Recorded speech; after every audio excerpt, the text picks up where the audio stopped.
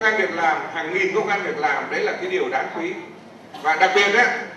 thì á, bây giờ nhỉ, xin cho một cái loa cái micro để từng người giới thiệu một phút về cái doanh nghiệp của mình. Có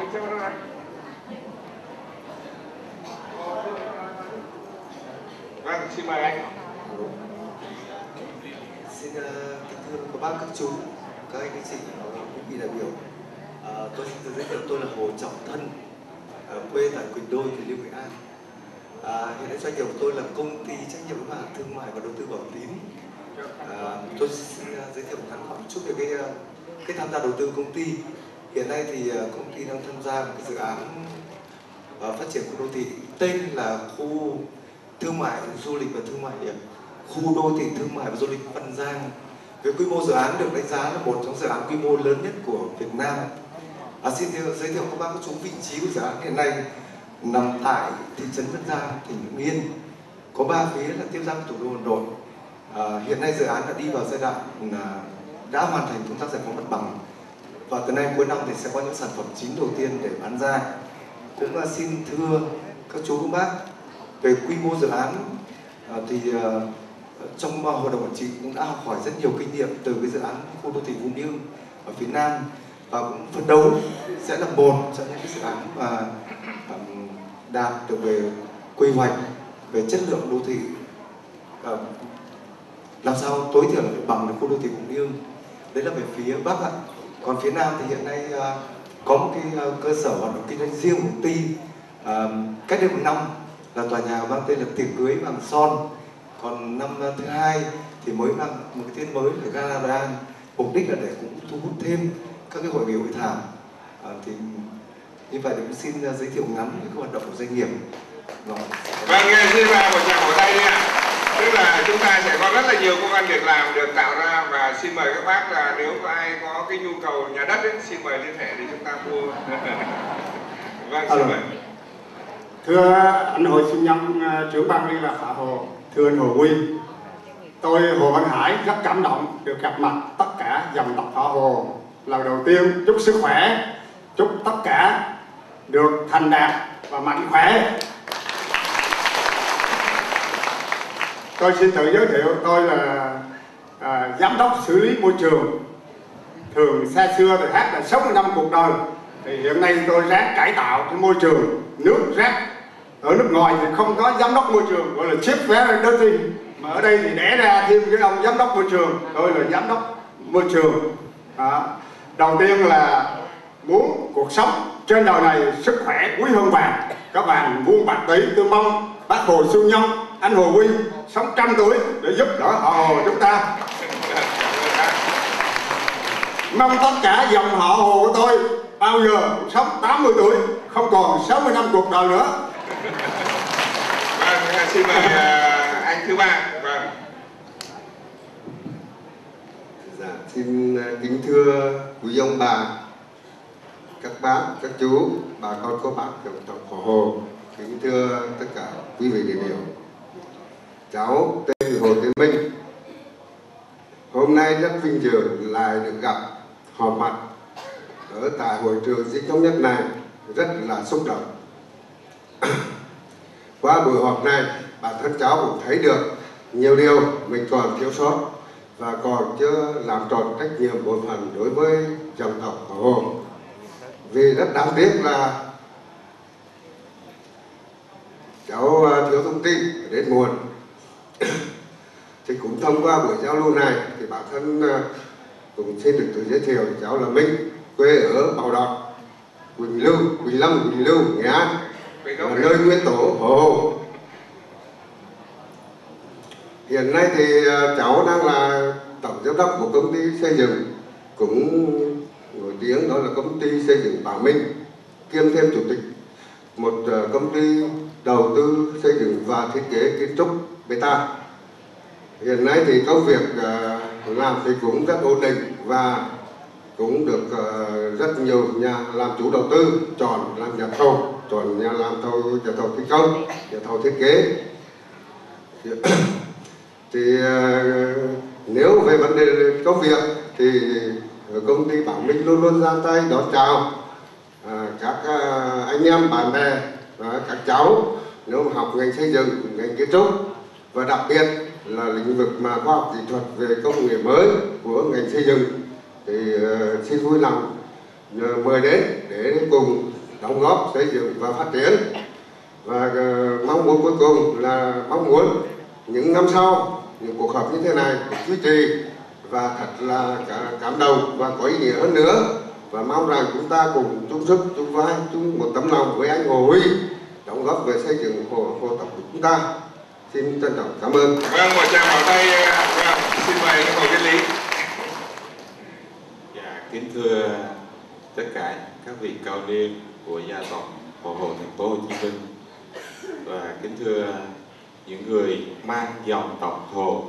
rất vinh dự của ngày hôm nay cho cái hội nghị này cho cái gặp lần gặp mặt của ngày 10 tháng 5 năm 2009. Tôi xin tự giới thiệu tôi là Hồ Viết Lý, quê quán là Quảng Nam, là xã Điện Bàn, Điện Trung, à, xã Điện Trung, Điện Bàn, Quảng Nam, tức là khu Gò Nổi, chứ không phải như anh hội giới thiệu tôi là quê Duy Xuyên. Quê Di Xuyên là một cái vùng đất dâu tầm, Quảng Nam cũng là một cái vùng đất dâu tầm và đến năm 1980 sau khi tôi làm cán bộ công nhân viên nhà nước và được đi về đất à, thành phố Hồ Chí Minh và từ đó tôi đã nghiên cứu con đường tơ lụa bắt đầu từ năm 1980 đến nay là 30 năm. Tôi chuyên nghiên cứu về dâu tằm và lụa để phục vụ cho đời sống của phụ nữ Việt Nam. Hiện nay mang cái tên là lụa lý. Con đường tơ lụa này kéo dài từ Bắc vào Nam. Chúng tôi đã có mặt. Hôm nay thì đứng ở đây tự giới thiệu thì chúng tôi cũng rất là vinh dự một người con của họ Hồ. Mấy cái sự kiện của quốc gia như sự kiện ASEM 5 là có một bài báo viết lùa lý cho các nguyên thủ gia mặt và cái hội nghị APEC năm 2006 các nguyên thủ 21 thành viên các nguyên thủ uh, 21 thành viên trong hội nghị APEC được mặc áo của lụa lý. Rồi, một tràng vỗ tay rất là vinh dự. À, đây là một cái vinh dự cho người người con trai mang dòng tộc Hồ đã làm cho cái dòng tộc của mình cũng có mang một cái vinh dự. Và hiện nay chúng tôi đang xây dựng thêm. Thì hiện tại trong à, thành phố Hồ Chí Minh tôi có một cái cửa hàng 180 lý trừ trọng và một cái cửa hàng 12 Phạm Phú Thứ quận Tân Bình. Xin mời những người phụ nữ Việt Nam mà muốn à, lụa thì đến với chúng tôi. Xin thành cảm ơn vâng xin chân thành cảm ơn anh Lý. Xin mời ông à, Hồ Đình Hoàng Minh kính thưa à, các cô chú các bác. Dạ à, cháu xin tự giới thiệu cháu tên là Hồ Đình Hoàng Minh à, quê quán ở huyện Trảng Bàng tỉnh Tây Ninh. À, kính thưa các cô chú các bác thì cháu là một thành viên của người là họ Hồ. Cháu nhớ rằng cách đây 12 năm khi mà cháu mới vừa ờ, tốt nghiệp chưa có việc làm cháu đăng báo tìm việc làm thì chú Hồ Huy thấy họ Hồ đăng báo tìm việc làm chú Hồ Huy gọi về và cháu đã gắn bó gia đình Mẹ Linh với chú Hồ nguyên cách đây từ 12 năm. Và từ một nhân viên bây giờ cháu được uh, trưởng thành trở thành một luật sư trưởng của tập đoàn Mai Linh. Đồng thời cháu cũng có một cái công ty riêng gọi là công ty luật là công ty luật Hoàng Minh Quân. À, kính thưa các cô chú các bác giờ hèn nhai đấu gia đình Mai Linh và đội với cả thân cháu là có một số cái công việc mà địa bàn nhất định. Nhưng cháu rất tự hào cháu làm thư ký của thường trực ban liên lạc họ hồ thành phố Hồ Chí Minh dạ. Đó các bạn đây là những cái công việc của họ hồ chúng ta cái đây là bắt đầu à, hoạt động ban liên lạc cái đây là 10 năm. Thì có lẽ là cháu gắn bó cái này cũng đã được 10 năm với cái, cái uh, sự hình thành của ban liên lạc. Là cháu xin chân thành cảm ơn chú các bác. Chúc các cô chú các bác. Là dạ rồi ăn khang. Kính thưa các bác các chú các cô và các anh chị em trong dòng tộc họ hồ. Hôm nay là lần đầu tiên cháu đến đây để tham dự à, do lời mời của anh Minh bên đây cháu xin tự giới thiệu cháu tên là Hồ Trọng Khải cháu nguyên quán ở Mỹ Tho Tiền Giang Hiện nay cháu đang làm việc cho công ty nước giải khát Pepsi và phụ trách việc kinh doanh ở đồng bằng sông Cửu Long. Công việc hiện nay thì nhà máy đang tiến hành xây một nhà máy rất hiện đại tại khu công nghiệp trà nóc và sẽ khánh thành vào tháng 6 này. Không phải nhà máy hình thành mà trong thời gian qua mọi hoạt động kinh doanh ngoài việc mình đảm bảo các yếu tố khách quan của công ty nhưng cá nhân cháu luôn luôn chú trọng tất cả những anh em những anh chị những người mang họ hồn. À, và luôn luôn có những sự hỗ trợ không phải là ưu ái mà là sự hỗ trợ giúp đỡ một cách khách quan nhiệt tình để làm sao một phần nhỏ mình đóng góp à, vào à, cái sự phát triển chung của dòng họ. Và hôm nay à, qua sự trình bày của các chú các anh nãy giờ về phương hướng hoạt động sắp tới thì có thể là cháu sẽ bàn kỹ hơn nữa với anh Minh. Trong tương lai phải làm sao xây dựng được cái ban liên lạc họ hồ ở khu vực đồng bằng sông Cửu Long sao cho nó lớn mạnh hơn nữa để à, góp phần chung à, đồng họ hồ cộng quốc chúng ta ngày càng phát triển. Một lần nữa cháu xin chúc sức khỏe các cô các chú à, các bác các anh chị ở đây. Sức khỏe an khang và ngày càng thành đạt. Xin hết. À, kính thưa các ông, các bà, các bác, các chú, các dì và tất cả các anh chị em trong thân tộc họ Hồ. À, thực sự thì hôm nay mà cháu đến dự cái buổi lễ họp mặt này à, trong một cái dịp tình cờ ngày hôm qua cháu đọc báo Sài Gòn Giải Phóng thì cháu thấy là à, mời họp mặt họ Hồ cháu cũng băn khoăn tại vì à, nhà cháu thì ở à, quê gốc cháu là dân Bến Tre nhà, nhà cháu thì ở à, 14 Kỳ Đồng thì à, cháu cũng à, nguyên đêm ngày hôm qua chứ không ngủ. Không biết là mình tới đây trước giờ mình không liên lạc có ai tiếp nhận mình hay không cũng băn khoăn. Đi mang theo sổ đem cạc rồi chứng minh thư. Lỡ người ta không cho mình vào đưa chứng minh chứ biết sao giờ? Thì à, cháu thì là ờ, tổng giám đốc công ty thép toàn cầu. Thì cung cấp các hệ thống đường ống và các thiết bị trong ngành dầu khí là chính. Và các dự án của nhà máy nhiệt điện, thủy điện và các công trình công nghiệp nặng. À, ngoài chuyên ngành thép thì hiện tại là cháu à, đang có đầu tư khai thác 5 cái mỏ cát ở Bến Tre thì sản lượng là khoảng à, 10 triệu khối trên một năm cho một mỏ thì à, cháu cũng hy vọng thông qua cái cái buổi họp mặt hôm nay nếu mà à, cô chú anh chị nào có cái thiện ý mà hợp tác với cháu thì cứ liên hệ với công ty thép toàn cầu của cháu đặt tại trụ sở là à, tầng 18 tòa nhà Indochina Park Tower ở số 4 Nghị Định Chiểu, phường Đa Cao, quận nhất. Vâng, xin uh, chân thành cảm ơn và một uh, tràng vỗ tay cho tổng giám đốc và xin mời anh tiếp tục. Kính thưa tất cả bà con trong gia tộc Hồ tôi xin tự giới thiệu tôi là Hồ Văn Hân, à, nguyên quán tại à, Hội An, nay là thành phố Hội An, Quảng Nam, Đà Nẵng. À, tôi hiện tại sống ở tại số 31 trên 2A Phạm Phú Thứ, phường 11, Tân Bình, gần nhà anh Lý đó, Hồ Viết Lý. Thì à, về công an việc làm thì tôi cũng có à, chung cùng à, mở một cái công ty trách nhiệm hữu hạn Sông Tâm tại số 18, 19, 20 à, và 21 tại khu công nghiệp Tân Tạo, ờ, quận Bình Chánh thì uh, hôm nay cũng được uh, uh, vinh hạnh gặp được tất cả các bà con trong gia tộc thì lần thì uh, rất là uh, vui mừng và xin uh, trân trọng chào tất cả và xin chúc tất cả quý vị được nhiều sức khỏe uh, cũng như trong công năng việc làm được vào sự thành đạt. Vâng chân thành cảm ơn. Và cuối cùng là một giám đốc uh, nữ họ hồ của chúng ta. À, thưa bà con cô bác họ hồ có lẽ lúc này đây là tôi đang rất là run tại vì chỉ có một mình phụ nữ thôi. Nên đề nghị bà con là động viên chào vỗ tay để cho đội à, thưa bà con cô bác ở hồ à, tôi là hồ thị tiến à, sinh ra quê ở đông triều quảng ninh và lập nghiệp thành phố hồ chí minh à, đến năm nay được 11 năm. Và thành lập công ty à, để tự hoạt động năm nay đã được gần 5 năm ừ, so với ờ, các anh các chị ở đây thì có lẽ là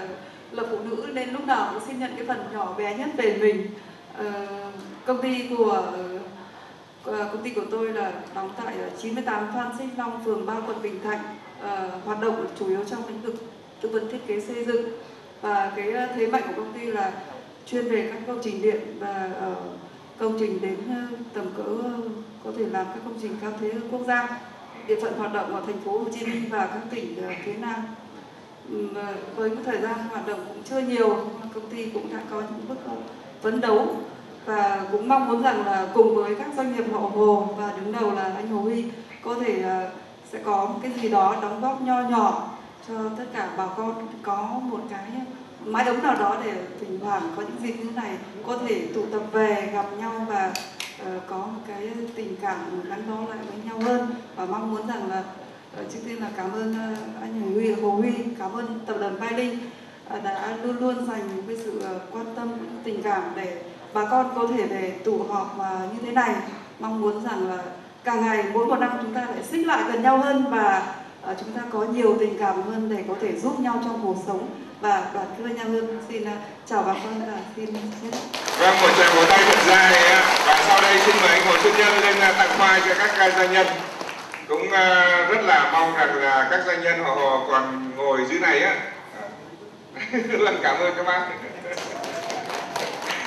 À, tôi biết rằng là còn rất là nhiều doanh nhân đang ngồi dưới. Thế nhưng hôm nay chắc là yên hẹn người hồ rất là khiêm tốn mà. Thế nhưng mà mong rằng là trong cái buổi họp xong à, giao lưu ăn cơm trưa và chúng ta sẽ gặp nhau và trao đổi. À, cuộc gặp mặt ngày hôm nay cũng như à, à, con gái họ hồ vẫn nói là chúng ta xích lại gần nhau hơn thông cảm với nhau hơn và các tổng giám đốc cũng như giám đốc các công ty ấy, là tạo điều kiện để giúp đỡ bà con à, có công an việc làm à, và đóng góp cho xã hội về thuế cho nhà nước thì cái điều đó rất là tốt. Và kinh doanh ấy vâng một tràng vỗ tay ạ một tràng vỗ tay rất là cảm ơn các giám đốc và xin mời ờ, các ờ, giám đốc chúng ta trở lại vị trí ờ, của mình. Anh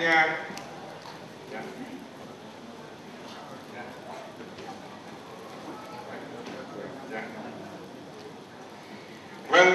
sau khi tôn vinh các giám đốc các công ty, các doanh nghiệp họ Hồ,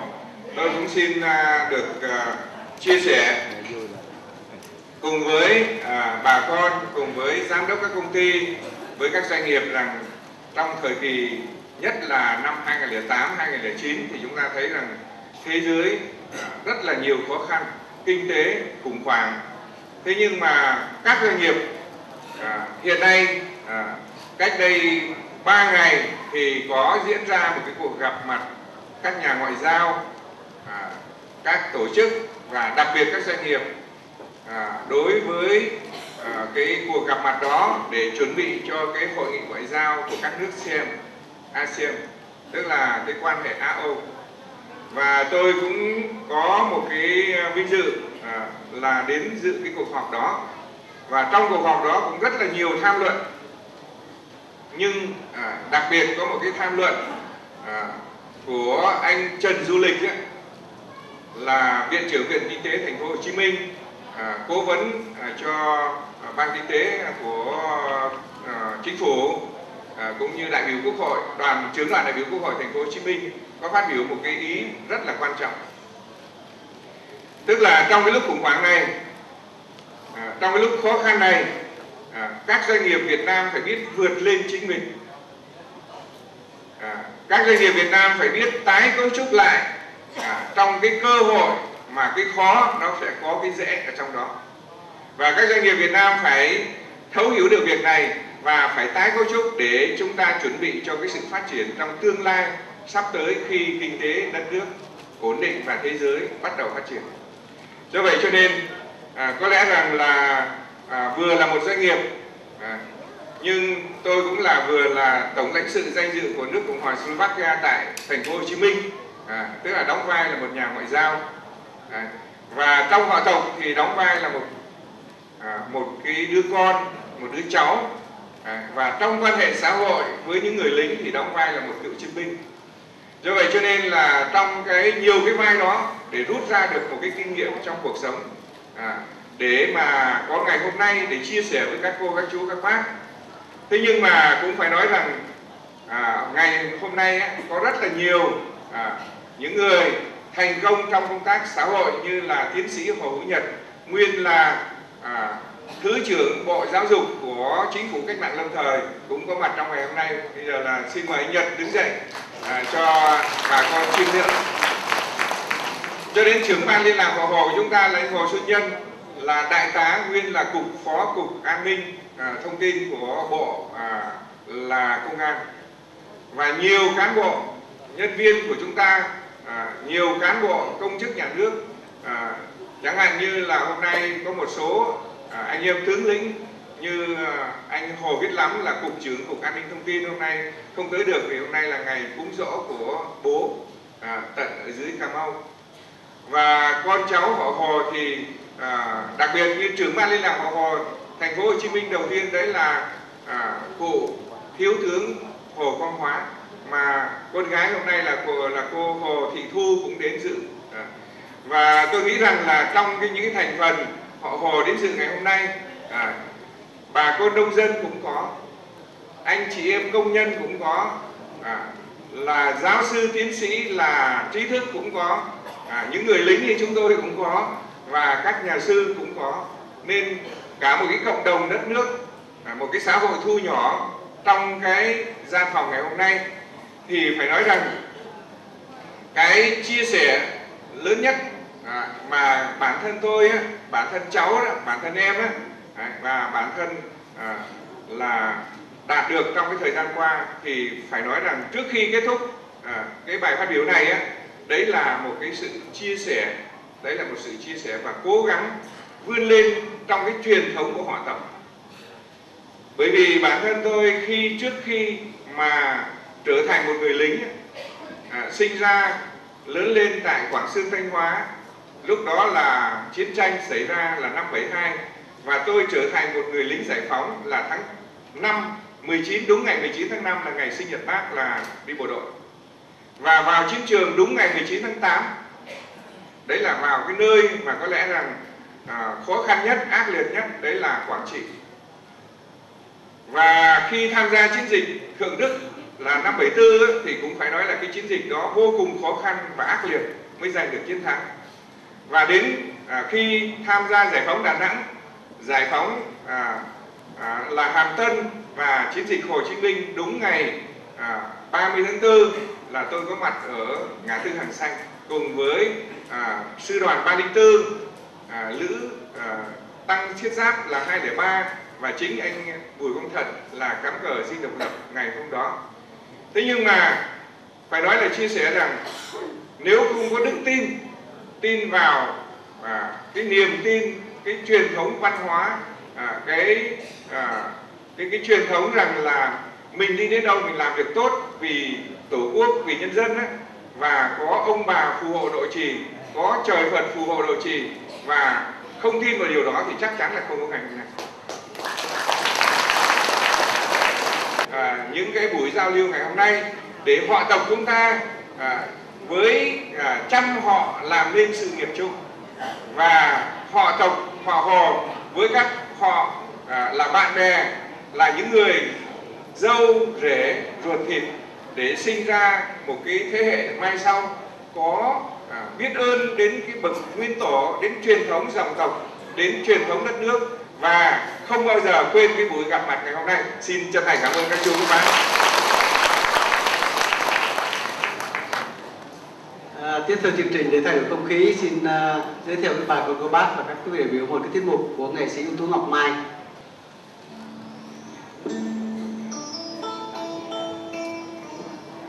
Bài thơ có tựa đề là Nguyện Trưởng của nhà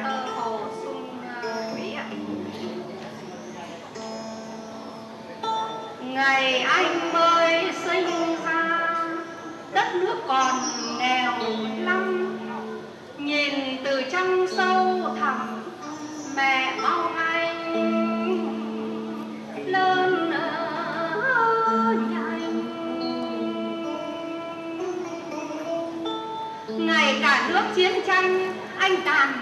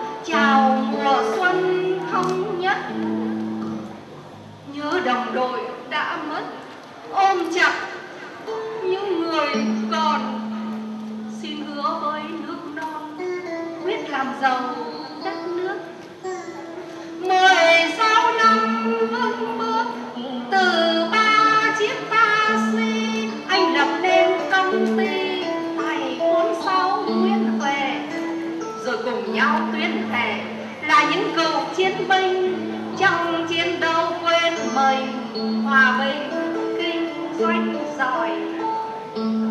Anh làm vừa học hỏi,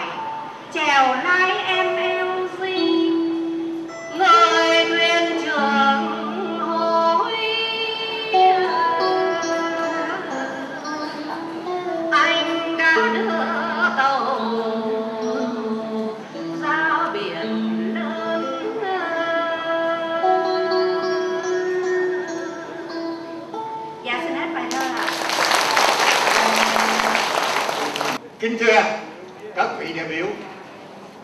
kính thưa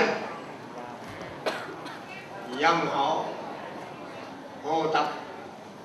quý ly. Tôi xin đọc một cái bài nghiên cứu và chính nó là một cái thâm cung bí sử mà hiện nay người ta đương tranh cãi. Và cái tranh cãi quan trọng đó Hồ Quý Ly phải là một ông vua cướp ngôi của nhà Trần hay không? Hai là một người anh hùng đứng trước cái đất nước nghiêng ngã như vậy,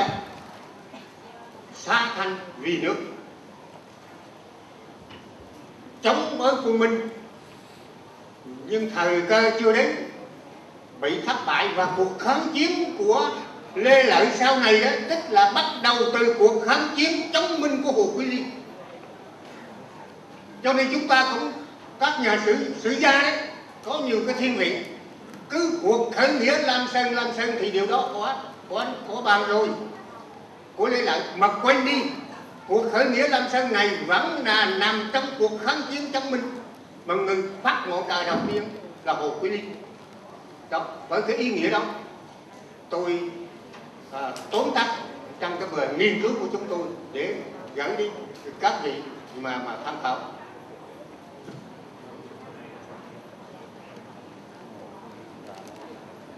Vì thời gian ít cho nên tôi đọc nguyên văn. Nhân dịp kỷ niệm, này tôi xin phép, tôi kính cẩn được đốt nén hương, tưởng nhớ người anh hùng dân tộc Hồ Quý Ly 1400 400 1407 đã vì